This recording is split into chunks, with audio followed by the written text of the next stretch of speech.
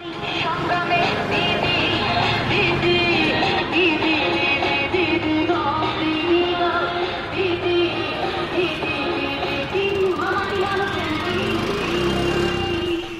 Laundry की team आज बिहाला east में है या बिहाला पूर्वा। ये साउथ ट्वेंटी फोर परगना की एक असेंबली कॉन्स्टिट्यूंसी है। टीएमसी ने बिहाला ईस्ट से रत्ना चैटर्जी को फ़ील्ड किया है। Ratna Chatterjee's husband who she is now separated with he has been an MLA from this constituency since 2011. Ratna and Sovon का जो रिलेशनशिप रहा है वो बहुत ही टैबलॉइड और uh, बहुत सारा इंटेंस मीडिया स्क्रूटनी के भी अंडर आया है Sovon used to be with the T M C he was considered the blue eyed boy of Mamata Banerjee he was also used to be the mayor of Calcutta he and Ratna Chatterjee separated he moved on with his partner to the BJP और BJP में सो उनकी दो शर्तें थी कि उनको एक तो बेहाला ईस्ट से कंटेस्ट करने का मौका मिले और उनकी पार्टनर को भी एक सीट मिले। बीजेपी ने दोनों ही प्रोमिस को कबूल नहीं किया। आ, उन्होंने उनकी पार्टनर को भी सीट नहीं दी और उनको बोला कि वो बिहाला वेस्ट से कंटेस्ट करे तो सोवन गुस्से में आके बीजेपी छोड़ गए। मीन टीएमसी में ममता बनर्जी ने as a show of support to Ratna उनको कैंडिडेट एक फ़ील्ड किया यहाँ से लड़ने के लिए। आ, बहुत पहले जबकि कैंडिडेचर उनका अनाउंस हुआ तो रत्ना ने बोला था कि वो चाहेंगे कि वो अपने हस्बैंड से इसी सीट से लड़ें और उनको हराएँ। अब वो पॉसिबल नहीं है क्योंकि वो तो कंटेस्ट ही नहीं कर रहे हैं लेकिन हम यहाँ पहुँचे हैं रत्ना जी से बात करने के लिए। She is at a rally somewhere so we are waiting for her to come and have a conversation with her about her candidature how the media has reported on it and also her plans for her constituency hello Ratna ji सबसे पहले very sorry मुझे बांग्ला नहीं आती तो मैं आपको हिंदी में interview कर रही हूँ और आपसे हिंदी बुला रही हूँ। और और मैं हिंदी में पीएचडी हूँ। मैं अगर मैं हिंदी बोलूँ तो दुनिया का सब आदमी को हिंदी भूल जाएगा। थैंक यू सो मच अच्छा पहला क्वेश्चन ये है कि आ, आपके पिताजी पॉलिटिक्स में रहे हैं टीएमसी से एमएलए थे। आपने पर कभी पॉलिटिक्स नहीं किया है। तो ये आपने क्यों सोचा कि अब इस बार के चुनाव में आप पॉलिटिक्स में एंट्री करें? नहीं, ये आपको गलत फहमी है। मैं जब जन्म लिया हूँ, तब से देख रही हूँ कि मेरा पापा कांग्रेस लीडर है। तो मैं एक कांग्रेस घराना से ही बड़े, देख के मैं बड़ी हुई है। फिर मेरा हस्बैंड कांग्रेस का काउंसलर था। फिर वो ममता दी के साथ टीएमसी में आया है। कलकत्ता का मेयर हुआ है, मंत्री था। तो मैं एकदम छोटे से पॉलिटिकल घराना से मैं बड़े हुए। तो ये नया मेरे पास नया वाला कुछ नहीं है। लेकिन खुद कैंपेन करना कुछ तो नया होगा क्योंकि आप नहीं ये भी नया नहीं है क्योंकि मेरा पापा मेरा मम्मी दोनों ही एमएलए था। मेरा मम्मी गुजर गए। मम्मी एमएलए था पापा एमएलए है। मेरा हस्बैंड भी बहुत इलेक्शन किया है। तो इलेक्शन का जो प्रचार जो कैंपेनिंग वो कैसे करना है मुझे मालूम है। ये नया नहीं है, लेकिन मैं प्रार्थी हूँ, ये मेरे लिए एक नया चैलेंज है, क्योंकि मेरा हस्बैंड अभी मेरे साथ नहीं रह, रहती है। तो मैं, मुझे जो करना है, तृणमूल जो वर्कर है, उन लोगों को लेके ही अकेला ही करना हो हो रहा है। पापा है, मेरा भाई भी है पॉलिटिक्स में, छोटा भाई। तो हो गए कोई प्रॉब्लम नहीं हुआ। ए, एक महीना तो सब कुछ किया आज ही तो लास्ट प्रोचर है। तृणमूल ने ऑलमोस्ट फिफ्टी कैंडिडेट्स फील करी हैं जो कि विमेन हैं। तो विमेन और आप भी विमेन हैं और दीदी जब बात भी करती हैं स्टेज से तो वो हमेशा माँ बहनों को यू नो बोलती हैं जो उनकी सारी स्पीचेस माँ माताओं बहनाओं से शुरू होती हैं। माता बहन से शुरू होती है। मेरी हिंदी आपसे काफ़ी ख़राब है तो तो विमेन के क्या इश्यूज़ हैं आपके अकॉर्डिंगली क्या मेन इश्यूज़ हैं जो टीएमसी को लगता है और सॉल्व करना चाहती हैं? और विमेन को वोटर्स को आप क्या कहना चाहेंगे?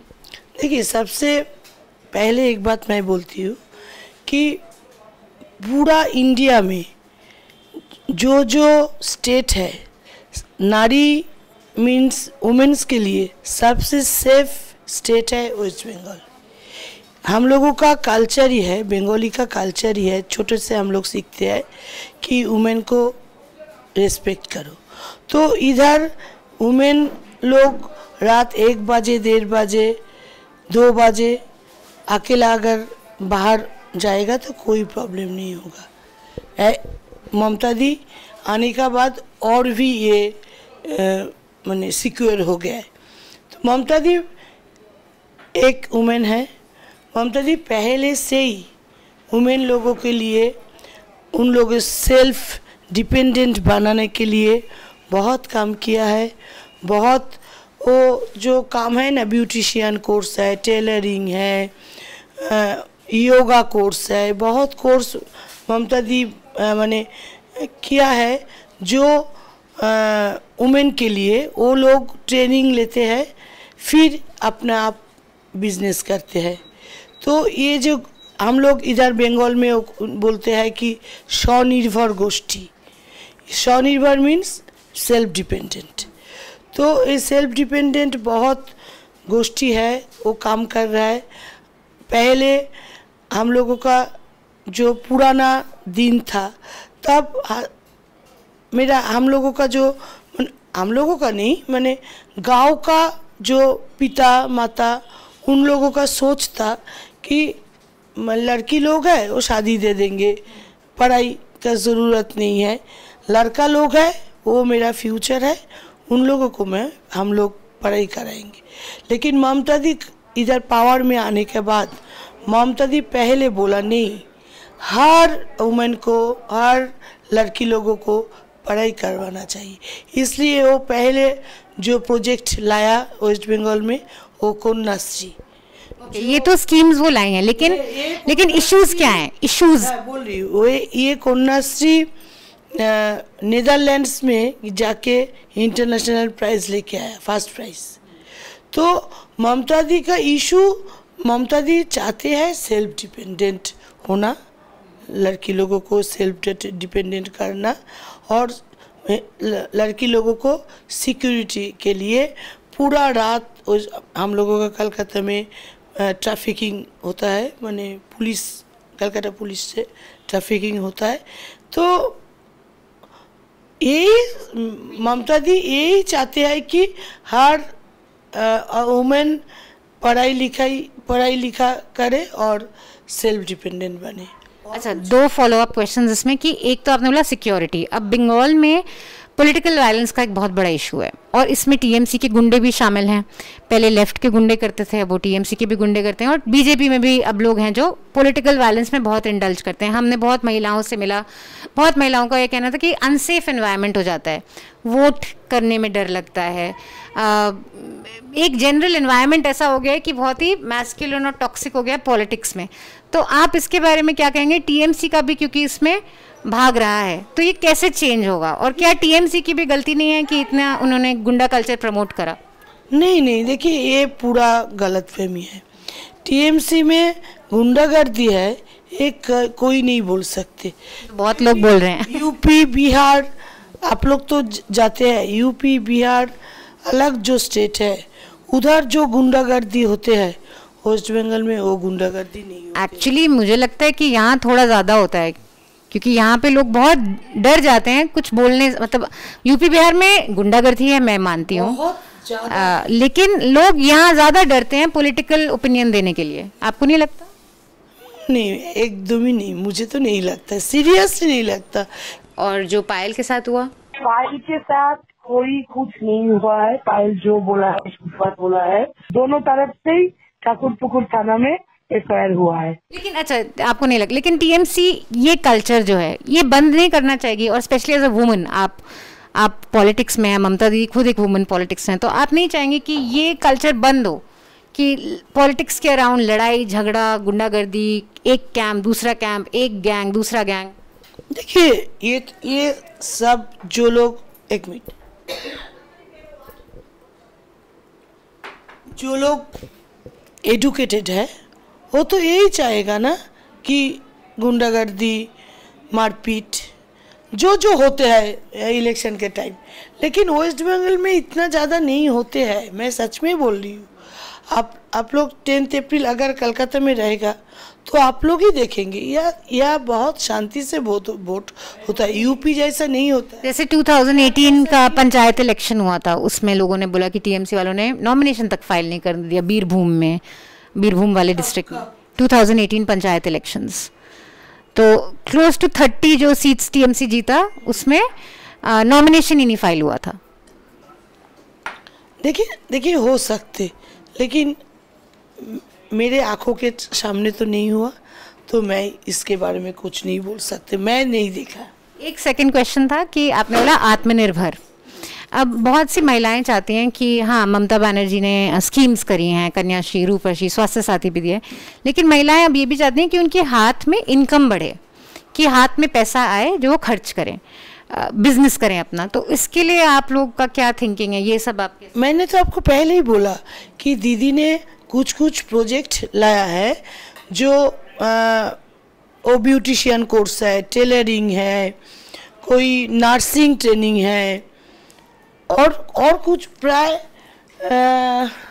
नियर अबाउट 100 टू 150 प्रोजेक्ट है, जिसमें महिला लोगों ट्रेनिंग लेते हैं, बिना खर्चे में ट्रेनिंग लेते हैं, लेके वो ममता दी, माने सरकार से लोन भी ले सकते। लेकिन बिज़नेस करे। ऐसे करके बहुत सारे वुमेन हम लोगों का बंगाल में बहुत वुमेन आज बिज़नेस कर रहा है। ब्यूटिशियन पार्लर खुला है टेलरिंग का दुकान खुला है नर्सिंग कोर्स करके बहुत नर्सिंग होम हॉस्पिटल में काम कर रहा है। ममता दी वुमेन के लिए ही ये पहले आके ये काम किया है। ओके शोभन जी और आपके बारे में अखबारों में बहुत लिखा गया बहुत टैबलॉइड में भी लिखा गया। तो ये सब मीडिया कवरेज के बारे में आपने क्या सोचा? और पहले आप मुझे हाँ ये बताइए कि मीडिया कवरेज जो आपके रिलेशनशिप के बारे में हुई मुझे अच्छा नहीं लगा क्योंकि हर परिवार में फैमिली में कुछ ना कुछ प्रॉब्लम होते ही रहते हैं। शोभन जी मंत्री थे मेयर थे इसलिए ज़्यादा हो गया मैंने मीडिया वालों ज़्यादा लिख लिया। लेकिन कोई वुमेन को ये अच्छा नहीं लगता है कि अपना परिवार का जो प्रॉब्लम है वो बाहर चले जाए। तो, आ, कुछ लोग जैसे आपने भी कहा था कि आप बहला ईस्ट से लड़ना चाहेंगे क्योंकि आप उनको चैलेंज करना चाहते हैं। या मीडिया में रिपोर्ट्स आया था कि आप चाहेंगे कि आप उनको चैलेंज करेंगे। अब तो वो बीजेपी में नहीं है। लेकिन काफ़ी कुछ लोग आपके क्रिटिक्स बोल सकते हैं कि आपने उनको चैलेंज करने के लिए पॉलिटिक्स एंटर किया या रिवेंज लेने के लिए पॉलिटिक्स में एंटर किया। ऐसे लोगों को आप क्या बोलेंगे? ये पूरा, पूरी गलत फहमी है, क्योंकि मैं शोभन बाबू का क्यों चैलेंज करने के लिए जाऊँगी? क्योंकि वो मेरा हस्बैंड थे। थे मीन्स है डिवोर्स नहीं हुआ है। तो जब शोभन बाबू घर में थे तब मैं पूरा पीछे से, पूरा हेल्प मैं करती थी। शोभन बाबू का जो इधर वर्कर लोग था, जो ऑफिशियल काम था, पूरा काम मैं पीछे से करती थी। तो शोभन बाबू चले गए, जब से घर से जब चले गए 2017 का फिफ्थ नवंबर वो घर छोड़ के, घर छोड़ के चले गए। तो तब से वो, ये जो घर है ना, ये कलकत्ता पौरसभा का 131 वार्ड है। और बेहाला पूर्व है। बेहाला पूर्व से वो एमएलए थे और 131 से वो काउंसिलर थे, क्योंकि मेयर थे। वो मेयर बनने के लिए काउंसिलर होना ज़रूरत है। तो ये 131 और बेहाला पूर्व में जब से वो, जब वो घर से चले गए, तब से वो कभी 131 में भी नहीं आया बेहाला पूर्व में भी नहीं गए। तो मेरे एक बात है, मेरा एक क्वेश्चन है शोभन बाबू के पास कि परिवार में बहुत प्रॉब्लम वो बोला है वो फेस किया है, इसलिए चले गए। लेकिन 131 का लोगों ने परिसेवा के लिए जो वोट उनको दिया था बेहाला पूर्व में जो लोग उन, उनको वोट दिया था, वो लोग क्या किया था? उन लोगों का तो कोई दोष नहीं था। तुम क्यों नहीं गए? क्यों नहीं परिसेवा दिए? ये तो अच्छा बात नहीं है ना? तो पेन हो गई जो वो अपना ड्यूटी जब वो जब ड्यूटी नहीं किया आदमी लोग मेरे पास आए आके बोला कि मैडम जी आप चलिए आप थोड़ा देख लीजिए क्योंकि हम लोग पूरा पूरी गार्जियन लेस है। कोई कलकत्ता म्यूनिसिपल कॉरपोरेशन का परिसेवा देने के लिए कोई नहीं है इधर। पूरा गार्जियन लिस्ट आप चलिए। तब मैं पॉलिटिक्स में आए मैं सामने से थोड़ा ये काम लेकिन मैं बेहाला पूर्व में कभी नहीं गई। मैं वन थर्टी वन में ही पॉलिटिक्स किया है। आमफान बोल के एक इधर बहुत बड़ा क्या बोलते हैं झारखंड साइक्लोन साइक्लोन आए थे। कोरोना अब तो मालूम है कोरोना लॉकडाउन के टाइम क्या प्रॉब्लम है? शोभन जी एक दिन के लिए 131 और बेहाला पूर्व में जाके आदमी लोगों को नहीं पूछा कि आप लोग कैसे हैं। तो आपने वो काम किया? लेकिन मैं उस टाइम पूरा टाइम मैं आदमी लोगों के साथ था।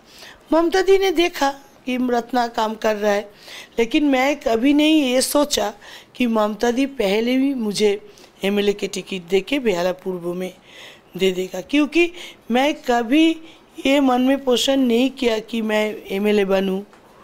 मैं मेरा इच्छा ही था मैं 131 में काउंसिलर बन के इधर आदमी लोगों को मैं परिसेवा देंगे। अच्छा आपकी जो इसलिए मैं बोल रही हूँ कि मैं पॉलिटिक्स में शोभन बाबू को चैलेंज करने के लिए नहीं आई हूँ। मैं काम करने के लिए आई हूँ। जो काम शोभन बाबू छोड़ के चले गए। अच्छा मैं आ, एक चीज़ पूछना चाह रही थी आपकी अब जो कंटेंडर हैं स्ट्रॉन्गेस्ट वो बीजेपी से पायल हैं एक्ट्रेस हैं तो बंगाल पॉलिटिक्स में ऐसा क्यों है? टीएमसी में भी बहुत एक्ट्रेसेस एक्टर हैं बीजेपी में भी बहुत एक्टर एक्ट्रेस हैं तो ये एक्टर एक्ट्रेस का फैसिनेशन क्यों है?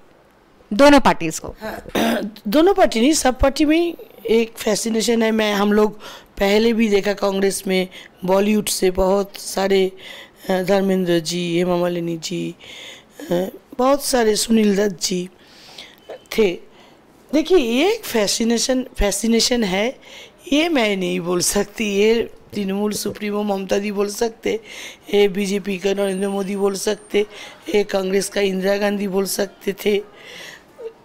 एक फ़ैशन है कि लगता है कि ये जगह थोड़ा वीक है तो सेलिब्रिटी का माने मुँह हर लोग जानते हैं, देने से लगता है जीत जाएँगे। तो मतलब टीएमसी को काफ़ी जगह वीक है इसलिए इतना सारा वो। मैं बहुत सारे नहीं दिया है। टीएमसी कितना दिया है? नौ दस दिया है ज़्यादा नहीं दिया है। अच्छा दो लास्ट क्वेश्चन आपको जाना है तो मैं आपको ज़्यादा टाइम वेस्ट नहीं करूँगी। एक क्वेश्चन मैं जानना चाहूँगी आपकी कॉन्स्टिट्यूंसी के लिए तीन बड़े मुद्दे क्या हैं जो आप लोगों के सॉल्व करेंगे? आपको लगता है जो तीन चीज़ें जो यहाँ पे प्रॉब्लम दे रही है लोगों को इस पे मैं सबसे ज़्यादा फोकस करूँगी। पहले तो उधर का पीने का पानी का थोड़ा प्रॉब्लम है। आज भी मैं जाके आदमी लोगों के साथ बात किया है। थोड़ा, वो बारिश के टाइम जो ड्रेनेज ड्रेनेज का थोड़ा प्रॉब्लम है। और और क्या है, सब तो ममता दी दे ही दिया है। ये दोनों ही सबसे बड़ा प्रॉब्लम है। थोड़ा रास्ता रोड ज़्यादा चौड़ा होना चाहिए। ये ये, और ज़्यादा प्रॉब्लम बेलापुर में नहीं है। पीने का पानी और ड्रेनेज सिस्टम का थोड़ा प्रॉब्लम है। लास्ट क्वेश्चन ममता दीदी की बहुत छवि है कि वो बहुत स्ट्रिक्ट हैं। एक उनको काफ़ी लोग कभी मोदी से भी कंपेयर करते हैं कि ये बंगाल की मोदी हैं, कि यहाँ पे मीडिया इनसे डरता है, लोग इनसे डरते हैं और बहुत अथॉरिटेरियन है और इनको सुनते नहीं हैं किसी की। तो आपके हिसाब से अब आप कितना अब तो आप फॉर्मली पार्टी ज्वाइन कर चुके हैं। तो आप एग्री करती हैं कि ममता जी भी बहुत ही अथॉरिटेरियन हैं और काफ़ी मतलब जो उनका मन आता है वही करती हैं और दूसरों की नहीं सुनती हैं और स्ट्रिक्ट हैं मीडिया के साथ भी। नहीं नहीं नहीं एकदम ये गलत फहमी है। सीरियसली मैं बोलती हूँ नारियल को अब तो मालूम है ना ऊपर पूरा बहुत ये कठिन है लेकिन अंदर में बहुत नरम है। तो ममता दी मन मन से बहुत नरम अ, महिला है तो उन उनको जो बाहर से देखते हैं, अंदर से वो वैसा टाइप के नहीं है, क्योंकि ममता दी को साथ मैंने बीस साल तो एक साथ बिताया ममता दी के साथ। बहुत, माने जो गरीब लोग के लिए अगर कोई सोचते हैं, पूरा इंडिया में जो जितना चीफ मिनिस्टर है। अगर गरीबों के लिए अगर कोई सोचते हैं तो ममता दी सोचते तो फिर कट मनी के बारे में क्यों नहीं सोचा? क्योंकि ये बहुत इशू लोग बहुत बोलते हैं कि कट मनी बहुत प्रॉब्लम है और टीएमसी के लोग काटमानी ममता दी तो नहीं लेते हैं। देखिए इतना बड़ा पार्टी है। पंचायत से एमपी तक बहुत सारे स्टेप है। पंचायत है जिला परिषद है म्यूनिसिपलिटी है पौरसभा है एमएलए है एमपी है। इतना स्टेप है। ममता दी अकेला मान वो चीफ मिनिस्टर अगर कोई पंचायत प्रधान काठमानी ले लेगा तो उनको आँखों में कैसे वो मैंने वो कैसे देख सकते कि कौन पंचायत प्रधान पैसा ले रहा है काटमानी इसलिए ममता दी बहुत स्टेप भी लिया है। जब ममता दी को 2019 के बाद जब वो चुनाव हारी लोकसभा मतलब हारी नहीं लेकिन लोकसभा में उनको बीजेपी का बहुत राइज हुआ। नहीं सुनिए राइज हुआ है क्योंकि सेंट्रल में मोदी छोड़ के और कोई मुख नहीं था। और कोई जो अपोजिशन वो कोई को किसी को पीएम बोल के नहीं खड़ा नहीं किया। तो इसलिए मोदी को वोट मिल गई। लेकिन बंगाल का कल्चर तो रिलीजन के ऊपर नहीं, ये करते डिपेंड करते हैं। इधर का आदमी लोग, हिंदू, मुस्लिम, क्रिश्चियन, सब एक साथ रहते हैं। इधर हिंदू हिंदू, मुस्लिम मुस्लिम मार पीट दंगा, धर्मों लेके दंगा, ये कभी नहीं होते हैं। तो धर्म के लिए वो नहीं जीता है। उस टाइम सेंट्रल में मोदी छोड़ के और किसी को मुख नहीं था। कोई अपोजिशन का इसलिए थोड़ा सी। यहाँ आपको लग रहा है सीएम फेस है तो टीएमसी का अच्छा चांस है। बहुत अच्छा। ममता दी फिर चीफ मिनिस्टर बनेगा। मैं आपको वन थाउज़ेंड परसेंट बोल देती हूँ। Thank you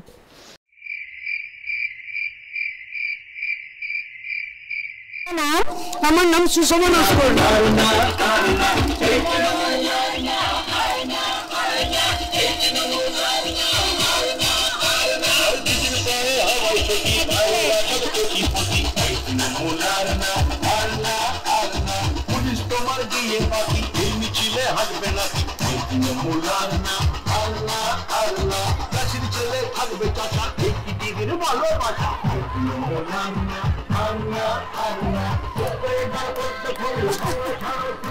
She heard that she wants to dance. बात करें? बात करें थोड़ा सा? सॉरी मैंने आपको डांस करने से रोक दिया। अच्छा आपका नाम? सुषमा स्कूल। आप यहाँ पे अमित शाह का रैली के आए थे? वाह और कब से आप बीजेपी में हैं? हम पाँच साल हो गया बीजेपी में। पाँच साल। पहले कहाँ थे? हम पहले पार्टी नहीं करती थी। आप पार्टी करते हैं? आप करती है। अ, क्या अच्छा लगता है आपको बीजेपी के बारे में? बीजेपी जो सिस्टम है वो बहुत अच्छा है। क्या सिस्टम वो जो सिस्टम सबको सबका बारे में सोचता है समाज के बारे में सोचता है। झूठ नहीं बोलता। हम्म, झूठ नहीं बोलता? झूठ नहीं बोलता।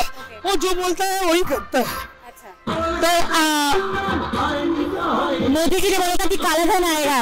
डिमोनेटाइज मोदी जी ने बोला था कि काला धन आएगा डिमोनेटाइजेशन के बाद। आया। हाँ आएगा। सब कुछ ठीक से आएगा। वो जहाँ जो बोला वही आएगी। अच्छा दीदी आपको क्यों नहीं पसंद है? दीदी हंड्रेड परसेंट की बात करता है। तब नाइन्टी नाइन परसेंट झूठ बोलता है एक परसेंट सच बोलता है। और यहाँ वो तो अभी दीदी नहीं है ना। ठाकुमा हो गया। अभी दीदी कैसे रहा? और एक बात बताइए यहाँ पे महिलाओं के लिए सबसे ज़रूरी मुद्दे क्या हैं? फिर बोलिए। महिलाओं के लिए क्या है सबसे ज़रूरी मुद्दे? हाँ। इशू क्या इशू है सबसे ज़्यादा आपके लिए औरत के लिए महिला के लिए? हमारा औरत का जो अपना अपना सम्मान मिलेगा काम का पोजीशन मिलेगा इज़्ज़त से जीना सक जी सकता है। यही तो बड़ी बात है ना। आप क्या करती हैं?